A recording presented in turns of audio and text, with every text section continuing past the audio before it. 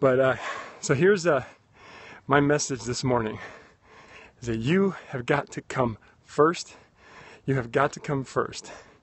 If there's something that you want, if you want to be of service to someone, you've got to come first.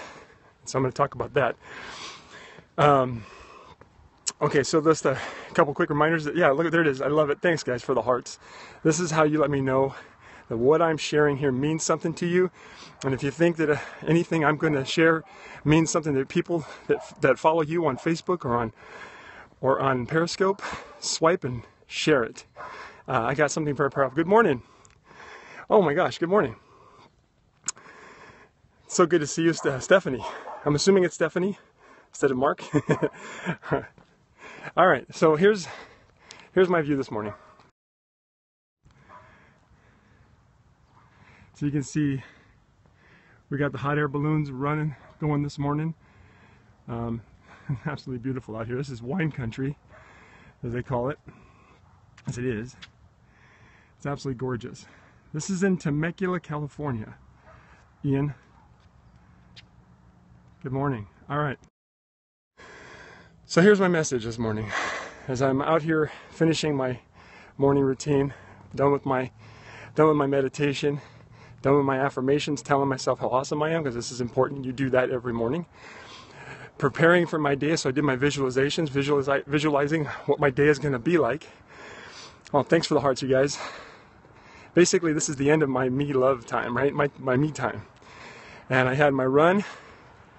I read some scriptures, journaled while I was out here, and now I'm going to share what I learned that we all have this, we all have this, the, the, what I like to talk about, by the way, my, my uh, scopes are all about business, building a network marketing company. My wife and I spent four years building a company, and after two and a half years, I was able to quit my job and be home with my family while we continue to build a business. Our organization has grown to over 37,000 people, and we're just getting started. And what I like to share is, is ideas and thoughts that help motivate us here to get us here so that we can have all the things that we want. That's it right there.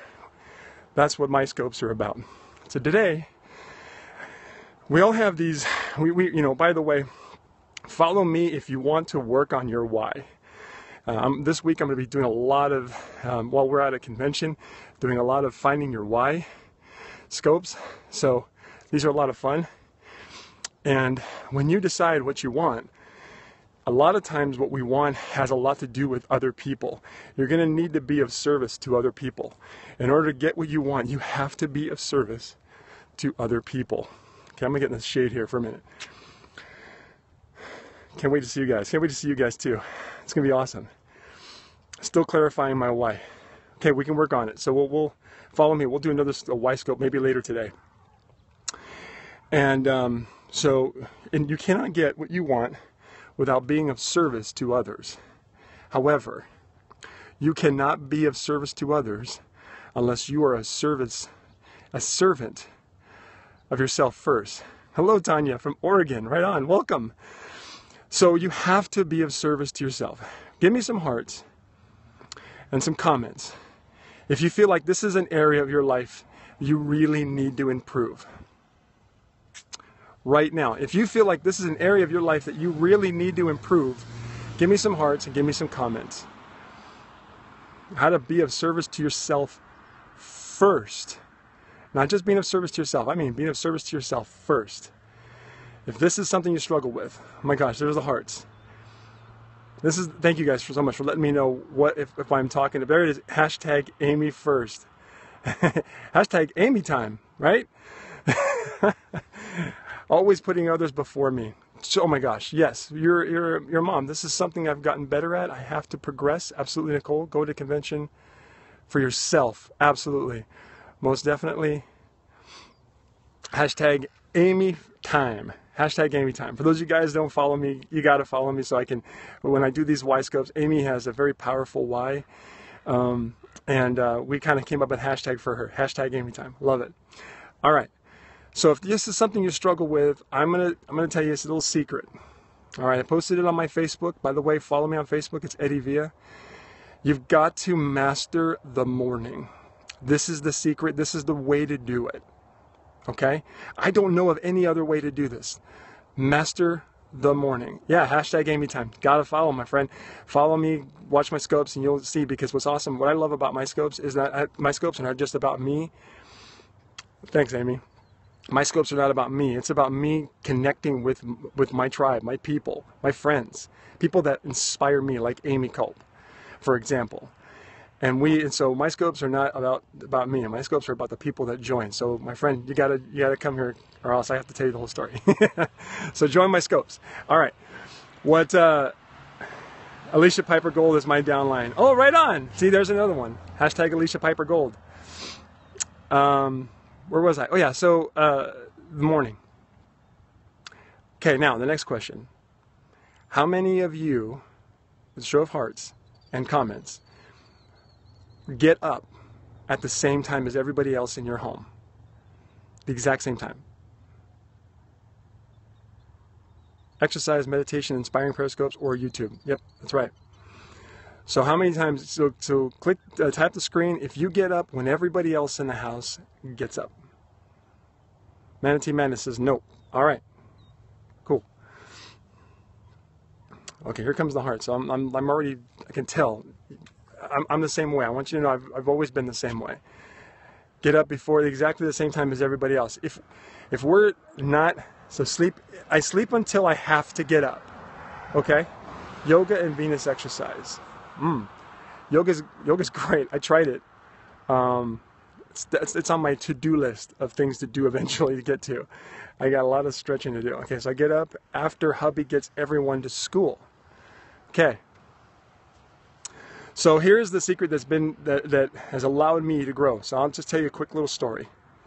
Eight months ago, I was lost, had no idea how the heck I was going to get involved.